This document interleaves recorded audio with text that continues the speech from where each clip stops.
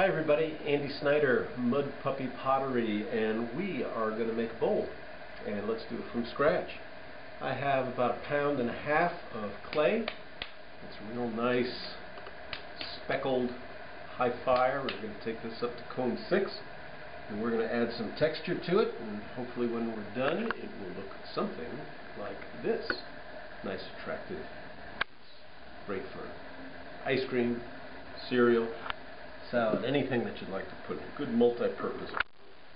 Nice way, one thing just to remember is that the feet on most anything you throw is not going to be uh, huge. And I use what are called wonder bats, which have this outer rim, which is made out of this pressed board, and it just has these two little places that go on the bat pins. And then you can just insert and pull out these nice little squares that sit right down. And you can leave them attached, and if you're doing things in multiples, and that's what I do, making things usually about 12 at a time, they're just wonderful to throw on. So let's get this centered. And centering, it's 44 years I've been involved in clay in some form or other, and um, truth is, maybe the first 30 years that I've worked in clay, I just didn't center the same way that I do now. And I find that the way I do it now is just much, much improved. So the first thing you do, I work counterclockwise even though I'm left-handed. It's sort of the right-handed way to do it.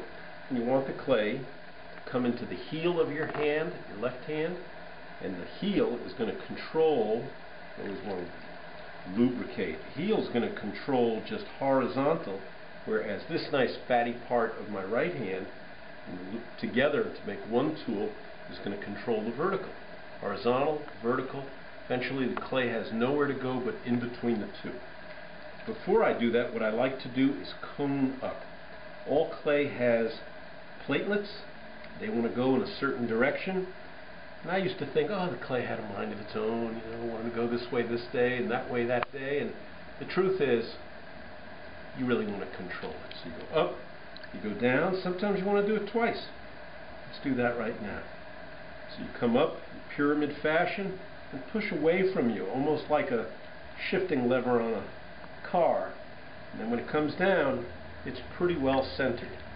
I like to hold a nice sponge in my right hand, loop up on my hands, on my thumbs, and again, this is pushing down with my right hand and in with my left hand, and I'm really setting the width of the foot of my bowl by going down to about that hockey puck size right there.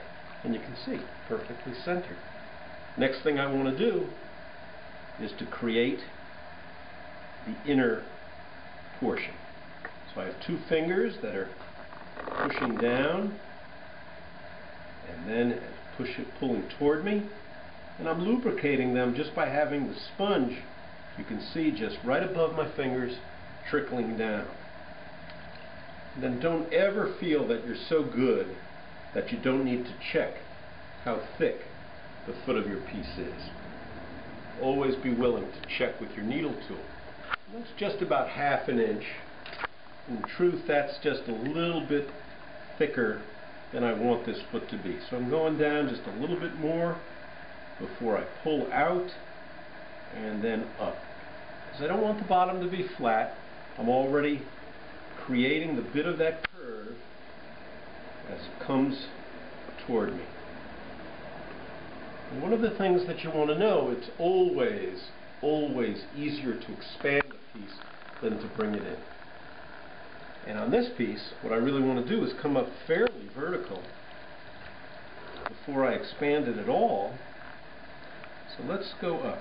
So I link my hands together. Anytime you can create one tool out of both your hands and all your little fingers and digits, it's just that much stronger. And up we go.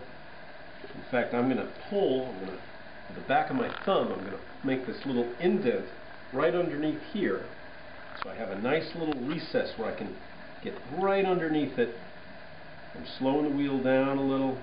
I'm working at about 3 o'clock on the dial And coming up pretty straight.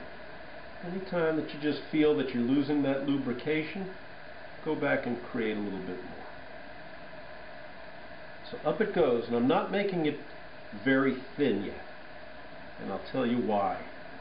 That's because I'm going to add texture to this, and then we're going to stretch it out from the inside to the outside. And you need to leave it a little bit thicker than you would ordinary. So that's about where I want it, right about there. Always dry out the inside.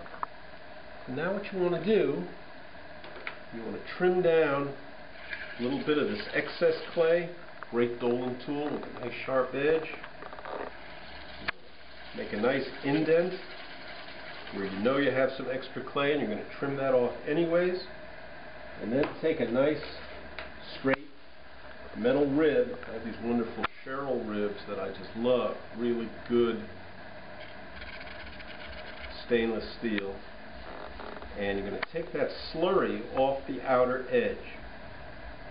This is the last time you're going to touch that outer edge. If I stop, you can see it's nice and smooth finish. I then have a tool that I'm going to create texture with. And it has got a wonderful name. It's called Steve's Tool, created by some guy named Fred. I don't think so. In fact, I met Steve. He was working at NCECA a few years ago in Philadelphia at the Bailey's uh, exhibit. He's a wonderful guy, and he told me that I was one of the fortunate ones who still has a Steve's tool with a wooden handle. The new ones are made out of plastic. But they have different discs that you can inform your piece with. And this is the arrangement that I have here, where I have two rounded spikes and this nice flat one in the middle. And what I'm going to do is get the wheel going, and this is a form and function issue. I don't really want it right in the middle. You think more about thirds. And in this case, let's go up a little bit. And I'm just going to let it go around and create a textured pattern in one part of the wheel. You see that well?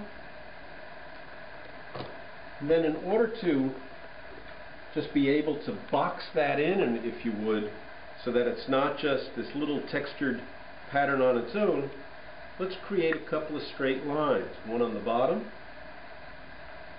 with a nice soft shallow indent and one on the top. And you can see I'm just using a pointed wooden rib in order to do that. And you'll see that when I glaze that, it gives me some real focal points for where I want to do so. And now, the outer part is really done other than the lip. But I'm going to take a rounded uh, rib, and in this case it happens to be a coconut shell, which I love using. It's got nice curvature to it, sometimes more exaggerated on the edges than along the length of it. And from the inside at a nice pace, we're going to start from the bottom to the outside edge. We're going to start to create that bowl shape. And it's not only just creating the shape, but if I slow down here for a moment, you'll see that it's stretching out the texture that I put onto the outer part of the bowl. Catch that okay? I'm going to do that just a little bit more. Let it sort of catch its breath. You want to make sure that the inside still has that nice curve to it, which it does.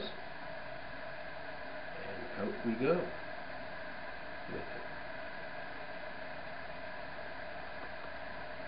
In fact, I think what we'll do, we'll come up right about to there, and then I'm going to take the rib away, and I'm going to finish it with a nice piece of chamois cloth, just right on the upper edge. Let me just take a sponge and take that excess water out of the bottom, just like so. And then with a chamois cloth, just wrapped around the edge, I can finish it by compressing, wrapping it between my pointing fingers, and creating just a finish that gives it purpose and dimension to the bowl. And there it is. Until I'm ready to trim. Just pop that right out, and there's a finished bowl.